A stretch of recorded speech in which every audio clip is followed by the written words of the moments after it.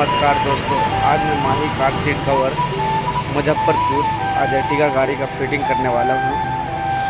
और उसका मैं आपको पूरा ब्लॉग शूट करके दिखाऊँगा।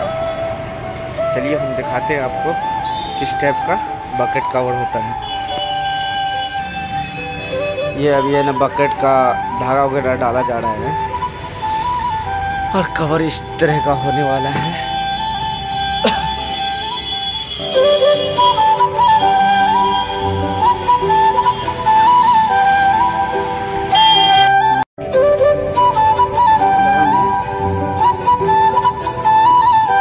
Yeah.